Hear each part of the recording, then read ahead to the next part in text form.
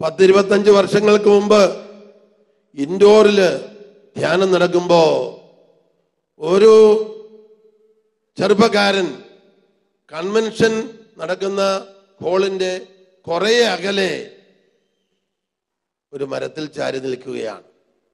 ഉച്ച വരെ. ഉച്ച കഴിഞ്ഞപ്പോ ആ ചെറുപ്പക്കാരൻ ധ്യാനം നടക്കുന്ന ഹോളിന്റെ അടുത്തുള്ള ഒരു ചെറിയ മരത്തിന്റെ അടുത്ത് ചാരി നിൽക്കാൻ തുടങ്ങി. ഒരു മൂന്നരയായപ്പോ അവൻ പന്തലിന്റെ ഉള്ളിലോട്ട് കയറി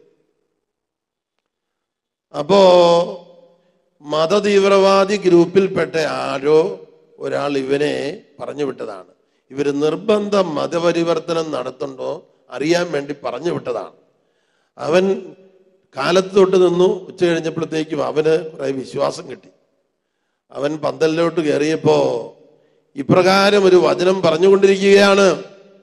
കർത്താവായ യേശുവിൽ വിശ്വസിക്കുക.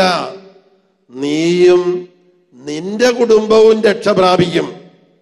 പെട്ടെന്ന് അവന്റെ ഓർമ്മ പോയത് അവന്റെ വീട്ടിൽ അവന്റെ ചേട്ടന്റെ വീട്ടിൽ എന്ന് പറയുന്നതാണ് ശരി.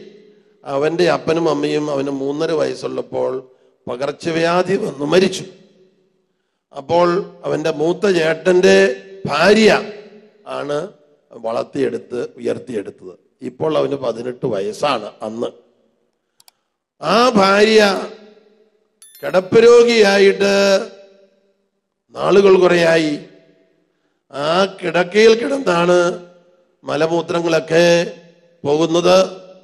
അങ്ങനെയുള്ള ശയ്യാവലംബിയായി കിടക്കയിൽ കിടന്ന ചേട്ടത്തി അമ്മയുടെ കാര്യം അവൻ ഓർത്തു അവന് ചേട്ടത്തി അമ്മയോട് വലിയ സ്നേഹമാണ്.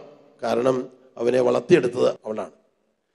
പെട്ടെന്ന് കർത്താവായ യേശുവിൽ വിശ്വസിക്കുക നീയും നിന്റെ കുടുംബവും രക്ഷ പ്രാപിക്കുമെന്ന് വചനം കേട്ടപ്പോൾ അവനിലേക്ക് വിശ്വാസത്തിന്റെ പ്രത്യാശയുടെ ഒരു കത്തിജ്വലനം ഉണ്ടായി.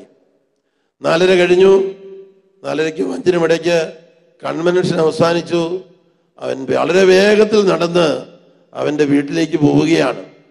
വീട്ടിൽ എന്തെങ്കിലും സംഭവിച്ചിട്ടുണ്ടോ എന്നറിയാൻ വീട് പൂട്ടിക്കിടക്കുന്നു അവൻ വാതിലിൽ മുട്ടി. ആരും വാതിലൊന്നും തുറക്കുന്നില്ല. എന്തു പറ്റിയെന്ന് അറിയത്തില്ല. അവൻ വീടിന് ചുറ്റും രണ്ടു മൂന്ന് റൗണ്ട് ഇങ്ങനെ നടന്നു. അതിനുശേഷം വന്ന് ഒന്നുകൂടെ മുട്ടി. വാതിൽ തുറന്നു. അണിഞ്ഞൊരുങ്ങിയ ചേട്ടത്തി അമ്മ എഴുന്നേറ്റ് വന്ന് വാതിൽ തുറന്നു. ഇതെപ്പോൾ സംഭവിച്ചു? എങ്ങനെ സംഭവിച്ചു എന്ന് അവൻ ചോദിച്ചു. ഏതാണ്ട് മൂന്നര മണിയായപ്പോൾ ഒരു വെളുത്ത നീണ്ട ഉടുപ്പിട്ട താടി നീണ്ട ഒരാൾ വന്ന് എന്റെ കിടക്കയുടെ അടുത്ത് നിന്ന് എന്റെ കയ്യിൽ പിടിച്ച് എന്നെ എഴുന്നേൽപ്പിച്ചു.